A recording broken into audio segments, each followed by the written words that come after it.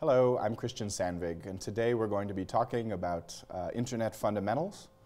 Uh, in the next few minutes, what I'd like to cover with you are three basic problems that will help you understand legal issues related to the Internet. The first problem I'll discuss will be sovereignty and jurisdiction, the second, technological capability, and the third, technology and law and policy. But what I'm going to do is I'm actually going to work through a specific example of how information is exchanged on the internet and then I will explain how these basic problems recur.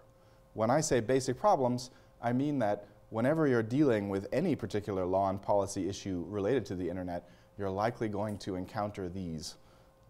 What I'm going to do for my example is something called a trace route.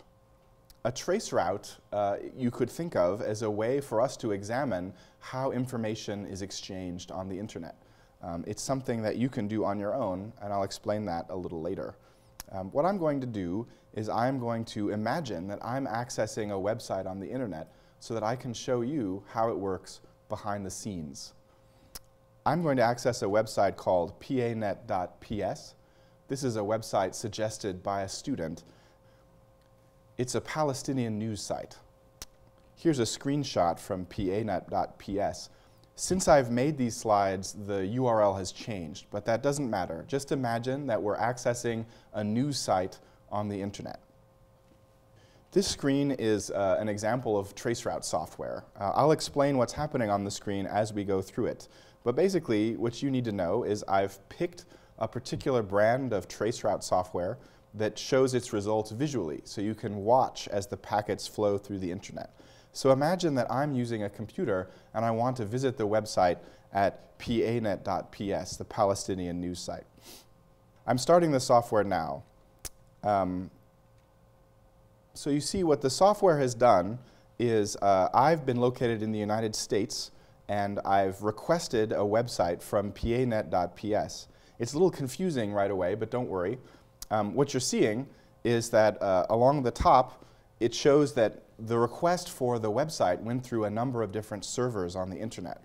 Um, you might think that the domain name .ps has something to do with Palestine, because .ps stands for Palestine, and you would be correct.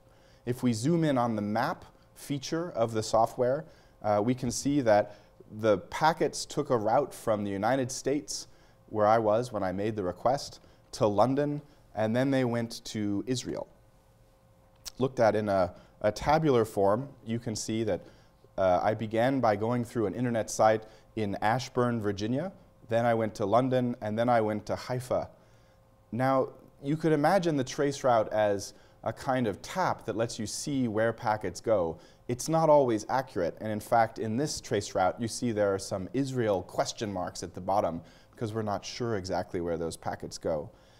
The reason I'm showing you this software uh, to help you understand internet fundamentals is that when you use the internet, it can often seem as though the internet is a kind of undifferentiated and confusing thing where you magically put in an address and hit enter and then it returns a web page. The thing I'm trying to emphasize is that whenever you do that, that information actually goes through specific servers and when you have a legal question or a policy question related to internet communications, these are going to be very important. So you can see that as far as I can tell, this website is not hosted in Palestine, it's hosted in Israel, um, but I'm not entirely sure because the traceroute didn't work.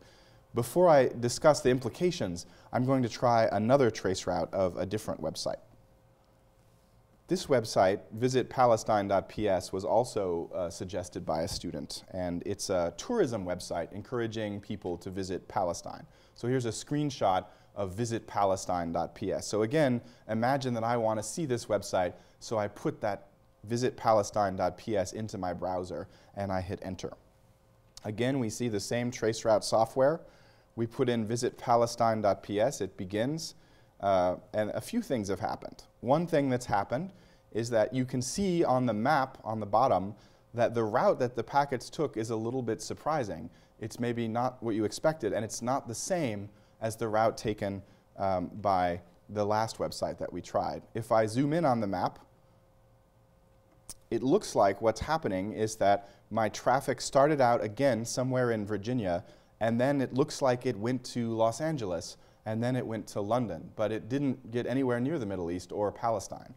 Um, so the reason I'm showing you this trace route is I'm trying to draw your attention to the fact that the internet does actually consist of real computers where your traffic is stored and transmitted. It consists of actual wires where the traffic flows. And it's important to understand these for legal reasons in addition to technical reasons.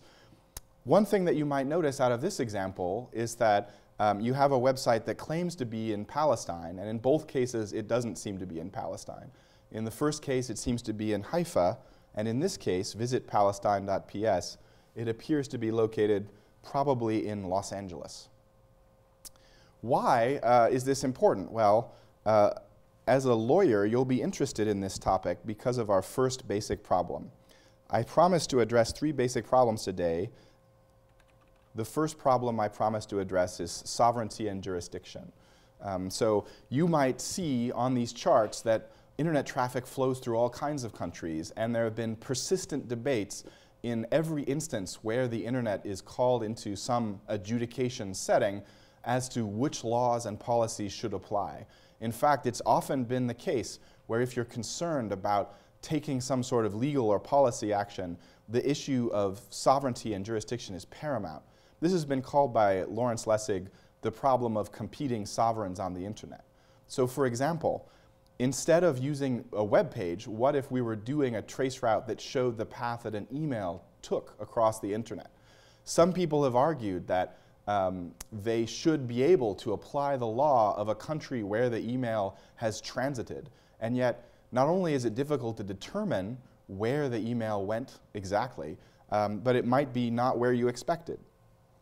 In this case, we see that um, visit PANet, excuse me, visit visitpalestine.ps was actually located in Los Angeles, that's probably because Los Angeles had fast internet connectivity. Manuel Castells said that networks are things that connect valuable places in a non-contiguous pattern, and that's true of the internet. We find more location of internet servers eh, where there is a lot of value, and so you might be surprised to find things like Polish websites located in Chicago or London, or where there is a lot of capacity. This creates all kinds of opportunity for discussion of sovereignty and jurisdiction. But my emphasis to you is that just because this seems mysterious doesn't mean that there is no way to tell where these uh, internet packets go or where they are. They are somewhere and they're on an actual machine. Going back to the visual traceroute software, you see that in this traceroute we saw that visitpalestine.ps seems to be located in Los Angeles. That's probably because internet connectivity is cheap in Los Angeles, and it's likely that if you locate content there, it will be accessible by the most people in the fastest amount of time. This is a picture of a Facebook server room. Just because the internet seems immaterial doesn't mean that it is. There are actually these locations that can be traced that house things like email and web servers.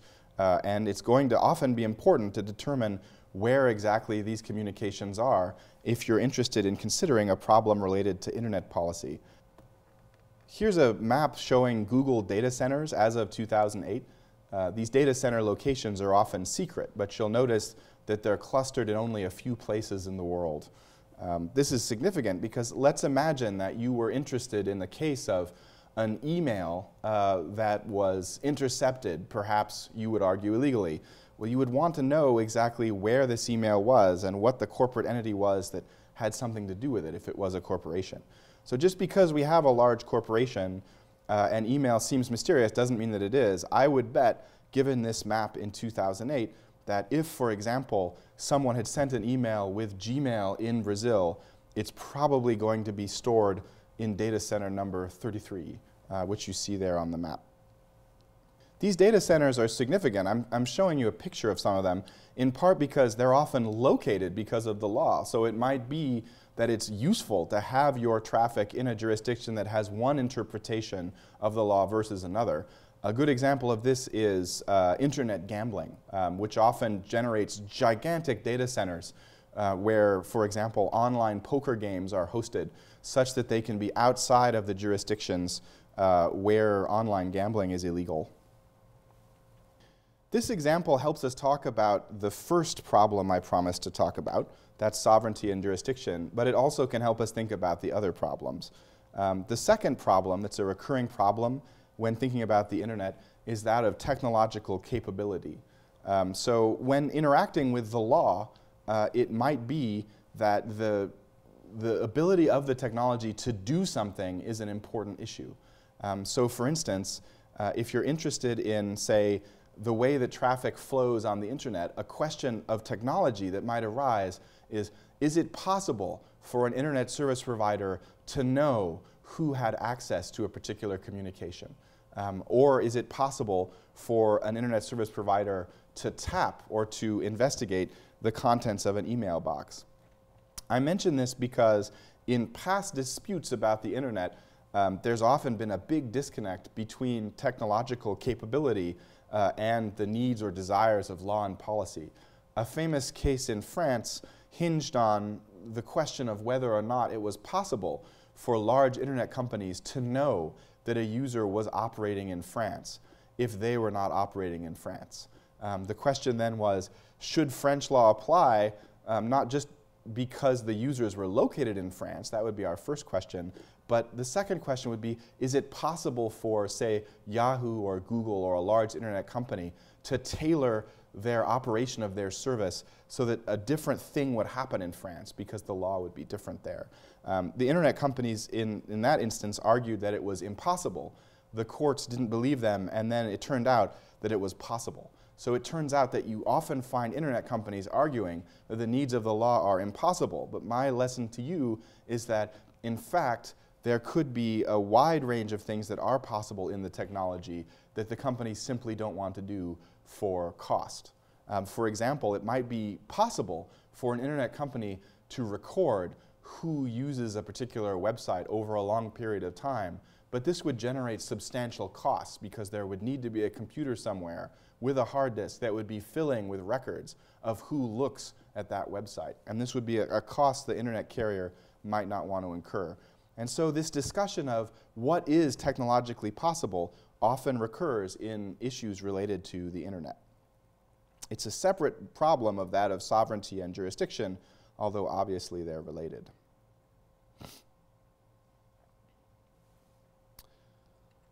The third issue I want to talk about is that of technology in law and policy, and this is also something that recurs over and over again when you have the internet or any technological topic at issue in law and policy.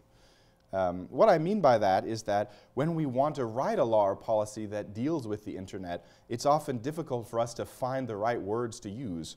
Uh, let me show you an example. This is the Wiretap Act in the United States, although really it could be any act in any country dealing with technology.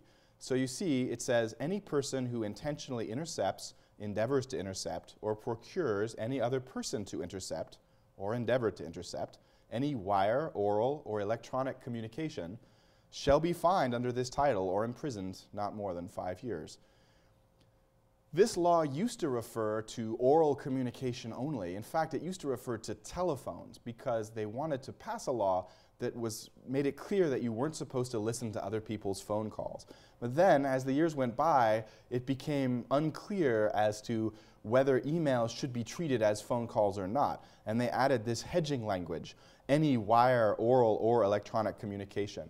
Originally, the word wiretap referred to wired phone calls, and there was some dispute as to whether phone calls carried over radio signals should be covered or not, because that would obviously be wireless and not wired this law has been revised in the 1980s to try and make it more expansive, but as a result, it's very expansive. So you see any wire, oral, or electronic communication. This is incredibly broad. We could imagine many instances in which it might seem like we're violating the Wiretap Act because it's really a, quite a broadly written law. Other laws can refer to specific pieces of technology that are obsolete. So for example, in many privacy laws around the world, they'll refer to things in the, in the statute like a pen register. A pen register is an obsolete piece of technology that was once used in the telephone network to record what numbers had been called. Um, but it's no longer relevant. It's no longer the way that telephones work. And yet we have statutes on the books all over the world that refer to this specific piece of technology. So what I mean when I say that there is a fundamental problem related to the internet that involves technology in law and policy, I mean that there's often a debate about what these technological words mean. Either you can draft a statute very broadly so that it will not be subject to technological obsolescence, but then it's very difficult to interpret it. What is meant by any private communication, for example? On the other hand, many countries have obsolete statutes that are drafted very specifically, and then the challenge is to argue that a term like a pen register should actually apply to something on a computerized telephone switch. Even though there's nothing that's now called a pen register anymore, you would have to argue, well, they meant something that would be used to record phone numbers, and we certainly have that capability now, although it's done with computers. In this presentation, what I hope to get across is that there are three basic problems that you'll find recur whenever you're dealing with technology, but particularly the technology of the internet. The first problem is sovereignty and jurisdiction, which which refers to the fact that internet communications travel through many jurisdictions, and it may be advantageous to argue from one as opposed to another. The second is that the capabilities of technology are often in dispute. Is it possible to know who's accessed what communication? And the third is that it's difficult to know what statutes might refer to when dealing with technology because they often deal with very specific terms on the contrary, sometimes they deal with very vague terms, leaving a lot open to interpretation. In this presentation, I used a trace route to show you that it is possible to follow packets on the internet and see where they go, and that they are located at particular computers, and that these computers uh, can be traced. Going back to the traceroute software, you see here that with this traceroute software, I can do things like look up who owns a particular computer. These records are not always accurate, but in this case it appears that um, visitpalestine.ps is at least hosted at 2800 28th Street in Santa Monica. These, this kind of information is available, uh, although sometimes it can be unreliable. If you'd like to pursue this on your own, uh, there are a variety of free traceroute software packages that you can use. Um, all you have to do is download them, uh, and at least it will give you some sense of how the internet works and why certain websites might be located one place or another, or certain mail servers might be located one place or another.